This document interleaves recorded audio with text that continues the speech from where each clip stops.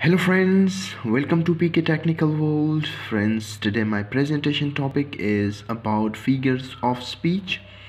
दोस्तों आज की इस वीडियो में मैं आप लोगों को फिगर्स ऑफ़ स्पीच के बारे में बताऊँगा कि फिगर्स ऑफ़ स्पीच किसे कहते हैं और इसके अलावा हमारे पास फिगर्स ऑफ़ स्पीच कौन कौन से हैं ठीक है तो चलो दोस्तों शुरू करते हैं आज की ये वीडियो सबसे पहले आते हैं फिगर्स ऑफ़ स्पीच की डिफिनीशन की तरफ़ Definition A figure of speech is a word or phrase that possesses a separate and deep meaning from its literal meaning. There are many figures of speech and literary techniques used by good orators and writers to make their speeches and writings emotional and interesting. दोस्तों figures of speech हमारे पास in the form of words भी हो सकते हैं phrases भी हो सकते हैं, ठीक है? दोस्तों फिगर्स ऑफ़ स्पीच का लघवी मानी लघवी मानी मतलब उसका जो ओरिजिनल मानी होता है, उनके पीछे एक और मीनिंग होता है, ठीक है? जब हम एक बात को सुन लेते हैं, एक वर्ड को सुन लेते हैं, एक फ्रेज को सुन लेते हैं, उनका एक मीनिंग होता है वाज मीनिंग होता है, लेकिन जो गुड ऑरिएटर्स होते हैं, जो कि अच्छे राइटर्स होते हैं या अच्छे स्पीकर्स होते हैं या अच्छे मुकर्रर्स होते हैं तो वो जब वर्ड्स यूज़ करते हैं, उनके जो लोग मानी लिटरल मीनिंग के बिहाइंड उसके और मीनिंग होते हैं, ठीक है? जो कि कॉमन लोग होते हैं, वो उसको लेट इसकी लिटरल मीनिंग को देखते हैं, लेकिन जो इंटेलेक्चुअल बंदे होते हैं, वो बिहाइंड द वर्ड्स को देखते हैं, ठीक है?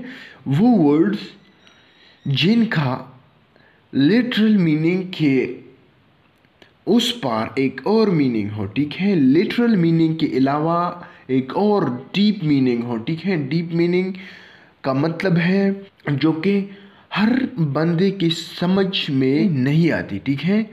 इंटेलेक्चुअल बंदे जो होते हैं ये, जो फिगर्स ऑफ़ स्पीच होते हैं, ये उन्हीं के लिए होते हैं, ठीक है?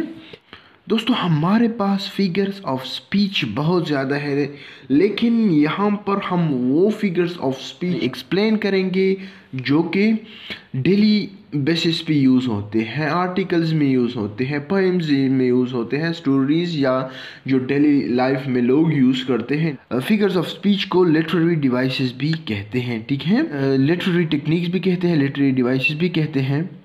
जो कि उसको यूज़ करते हैं ऑरिएटर्स ऑरिएटर्स उस बंदों को कहते हैं जो कि दरबारों में होते हैं लोगों को कन्विंस करते हैं, तकरीरों और बयानात की थ्रो लोगों को उकसाते हैं या लोगों को मतलब समझाने की कोशिश करते हैं। फ़िलासफ़र टाइप्स के होते हैं, ठीक है? उनको ऑरिएटर्स कहते हैं, ठीक है?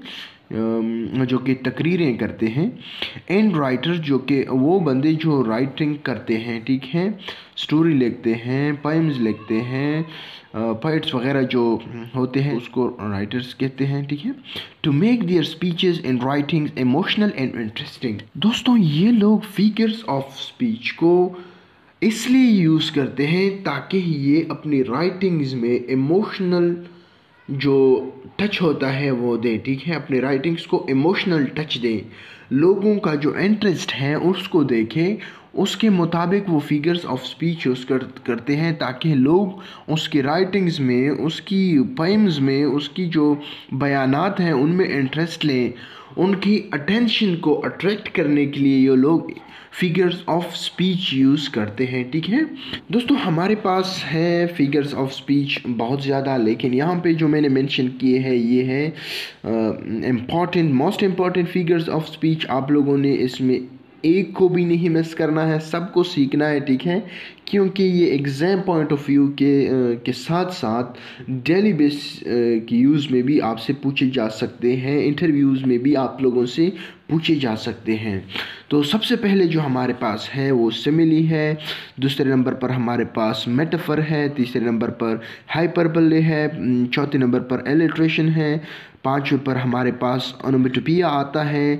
फिर आता है पैराडॉक्स फिर एनोलॉजी है पर्सनिफिकेशन है क्लाइमिक्स है एंटी क्लाइमिक्स है एग्जामरान है। तो दोस्तों, ये सब के सब जो हैं, ये इंपॉर्टेंट हैं इन सबको हम वन बाय वन एक्सप्लेन करें। तो दोस्तों, आज के लिए इतना ही काफ़ी है। कल से हम स्टार्ट करेंगे सिमिली और मेटाफर को, फिर हम पढ़ेंगे हाइपरबली इलेक्ट्रेशन को। तो दोस्तों वन बाय वन हम इनको एक्सप्लेन करेंगे। ये मैंने तरतीब वाइज नहीं लिखे हैं, ताकि आप लोग सीखें, ना कि आप लोग रटा लगाएँ, ठीक है? दोस्तों, बाज़ जो स्टूडेंट्स होते हैं, वो रटा लगाते हैं, पहले सिमिली को सीख, सीखते हैं, फिर मटफ मेटाफर को सीख लेते हैं, फिर हाइपर लिटरेशन जब आप उससे पूछ लेते हैं कि डायरेक्ट आप उससे पूछ लेते हैं कि इलेक्ट्रिशियन क्या होता है तो फिर वो कंफ्यूज हो जाते हैं, ठीक है? इसलिए मैंने यहाँ पर तरतीब वाइज नहीं लेके हैं, ताकि आप लोगों को सीखने में आसानी होगी, ठीक है? तो दोस्तों, आज के लिए इतना ही काफ़ी है। अगर फिगर ऑफ़ स्पीच का जो मेन डिफिनीशन डेफिनेशन है कि फिगर ऑफ़ स्पीच कैसे कहते हैं, इसमें कौन कौन से प्रॉब्लम है तो आप लोग मुझसे व्हाट्सएप पर कांटेक्ट कर सकते हैं। इसके अलावा अगर ना हो तो आप लोग कमेंट बॉक्स में भी मेंशन कर सकते हैं। Thank you very much